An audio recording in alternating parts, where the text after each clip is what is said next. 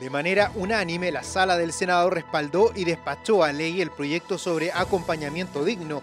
La iniciativa consiste en establecer un protocolo para que los centros asistenciales de salud permitan que padres, madres o quien esté al cuidado de pacientes pediátricos puedan acompañarlos con condiciones mínimas de comodidad.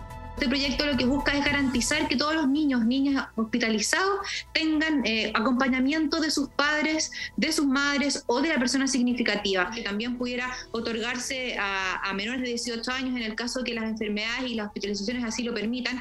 Creo que aquí hemos demostrado el que se trabaja en conjunto en función de las necesidades de las personas, pero sobre todo para humanizar el trato en salud. El trato para quienes acompañen a los menores de edad deberá ser respetuoso y solo se podrá limitar el derecho a acompañamiento en aquellos casos en que constituya un peligro para la salud de ambos.